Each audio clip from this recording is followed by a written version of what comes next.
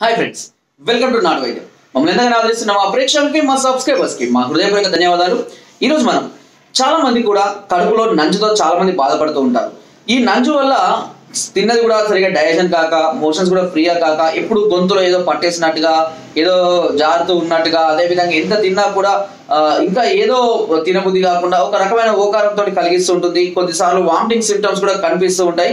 So ఈ నంజు అనేది చాలా ఇబ్బందికరమైన విషయం. ఎక్కువగా తీపి పదార్థాలు తినేవాళ్ళలో ఈ సమస్య అధికంగా ఉంటుంది.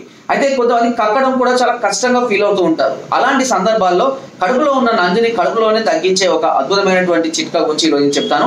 ఈ చిట్కాను మీరు క్రమం తప్పకుండా నెల రోజుల పాటు కనుక వాడినట్లయితే కడుపులో ఉన్నటువంటి నంజు అనేది క్రమక్రమంగా కడుపులోనే తగ్గిపోవడం జరుగుతుంది లేదా మోషన్ ద్వారా కానీ బయటికి వెళ్ళిపోతూ ఉంటుంది.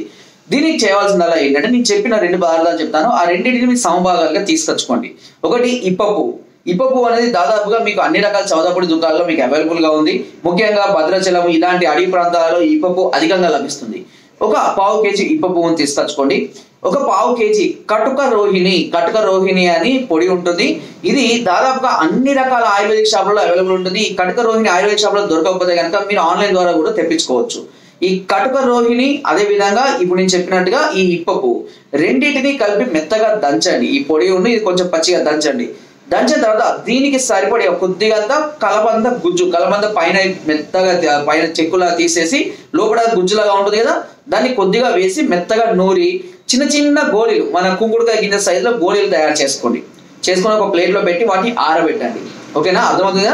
అంటే ఈ కుంకుడుకాయ గింజంత సైజులో తయారు చేసి అవి ఊడిపోకుండా దానికి కావాల్సినటువంటి గుజ్జు మాత్రమే మనం తయారు చేసుకోవాలి. ఎక్కువ గుజ్జు కలిపితే ఏమిటంటే బాగా మెత్తగా అయిపోతే అవి గోళీలాగా రావు. ఓకేనా? అలా మాత్రలాగా తయారు చేసుకోండి.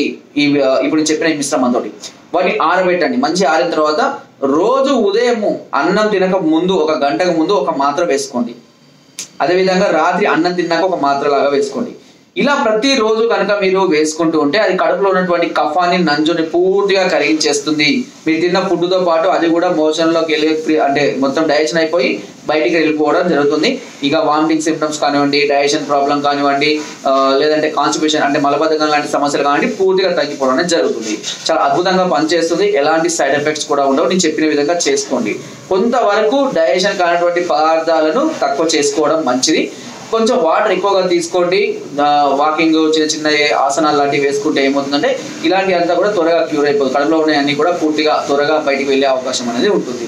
సో ఈ కడుపు రోహిణి అనేది దాదాపుగా చాలా రకాల వ్యాధులు క్యూర్ చేయడానికి కూడా ఉపయోగిస్తాం. ముఖ్యంగా దీర్ఘకాలిక వ్యాధులు దీర్ఘకాలిక జ్వరాలను తగ్గించడానికి కూడా ఈ కడుపు రోహిణి అనేది ఉపయోగపడుతుంది. నేను చెప్పినట్టుగా ఈ కడుపు రోహిణి వాడుకోండి. తప్పకుండా మీ కడుపులో ఉన్నటువంటి నంజం అనేది పూర్తిగా తగ్గిపోవడం జరుగుతుంది. సో ఫ్రెండ్స్ మీరు మరే ఇతర కనుక సమస్యలతో కనుక చాలా రోజుల నుంచి బాధపడుతున్నట్లయితే వెంటనే మమ్మల్ని సంప్రదించవచ్చు. పైన స్కోర్ నెంబర్స్కి ఫోన్ ద్వారా లేదా వాట్సాప్ ద్వారా లేదా కింద డిస్క్రిప్షన్ మా యొక్క అడ్రస్ కూడా నేరుగా వచ్చి మమ్మల్ని సంప్రదించి మీ అన్ని రకాల సమస్యలకు సలహాని సూచనలు మెడిసిన్స్ కూడా మీరు పొందవచ్చు. ఫ్రెండ్స్ నా వీడియో కనుక మీకు నచ్చినట్లయితే ఒక లైక్ ఒక షేర్ చేయండి. మరిన్ని వీడియోస్ కోసం సబ్స్క్రైబ్ అంతా మర్చిపోకండి. మీ అమూల్యమైన సలహాలు సూచనలు నాకు కామెంట్ ద్వారా తప్పకుండా తెలియజేయండి థ్యాంక్ యూ